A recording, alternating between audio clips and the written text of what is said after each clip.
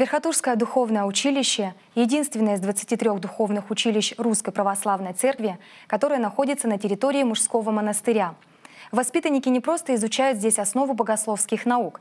Для большинства годы в училище – это проверка своего характера, веры и правильности выбранного пути. Церковнославянский язык – предмет достаточно сложный, требует внимания, усидчивости, терпения. Поэтому после урока советуют преподаватели лучше переключиться. На несколько минут перемены сменить вид деятельности с умственной на физическую. Или вспомнить занятия в музыкальной школе. Благо синтезатор, как и теннисный стол, тоже рядом.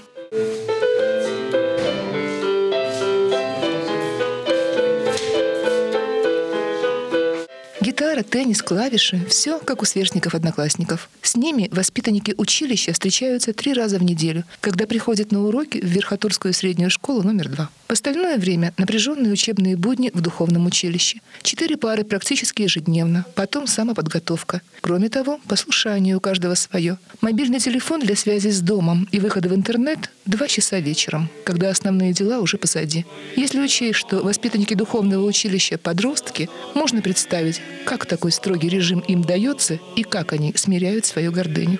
Я бы назвал их элитой, потому что сюда, конечно, их не загоняют ни родители, сюда они идут по своей собственной инициативе.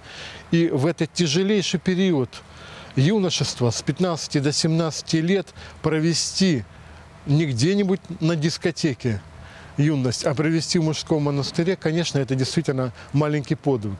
В Верхотурское училище стремятся молодые люди из разных уголков России, от Магадана до Калининграда. Выдерживают вступительные экзамены, принимают строгие требования к обучению и проживанию. Понимают, все это исключительно для укрепления их духа и подготовки к будущему служению. Случайных ребят в училище нет. Все пришли сознательно, но каждый своим путем. У Максима Ибрагимова из Тюмени был выбор – стать мусульманином, как отец, или православным, как мама.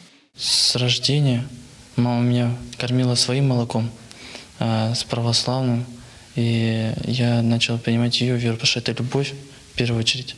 Кирилл Хронов из Курганской области начал ходить в церковь вместе с родителями и в какой-то момент понял, что хочет попробовать себя в качестве пономаря. Сказал об этом папе. Отец разрешил. И, как выяснилось, поступил мудро и прозорливо. В детстве начал, когда пономарить, что-то прям так меня захватило это мечта стать священником, ну, не знаю, почувствовал какую-то тягу к этому. Родители сына поддержали и тогда, и теперь, когда Кирилл решил продолжить образование в духовной семинарии. Любят и уважают мое решение, и все поддерживают абсолютно вся родня, что это решение.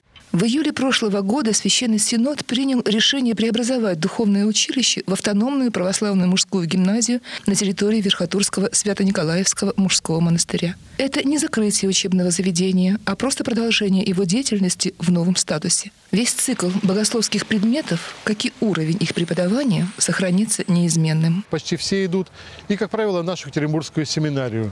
И, насколько я знаю, там они на особом счету верхотурцы в семинарии, потому что они очень много уже знают из богословия и очень много умеют. И за время обучения в училище не только не изменили своему желанию принять священство, а укрепились в нем.